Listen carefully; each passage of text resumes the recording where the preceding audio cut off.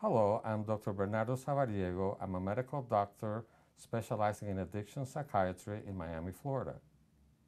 Let's talk a little bit about how alcohol affects the frontal lobe. The frontal lobe is our center of reasoning. This is what gives us our judgment and controls our acts. The alcohol tends to disinhibit the frontal lobe so that you are not going to control your actions and your judgment is going to be impaired.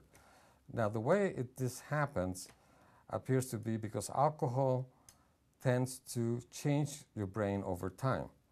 Uh, the brain has neurotransmitters like GABA and glutamate that are very much affected by alcohol.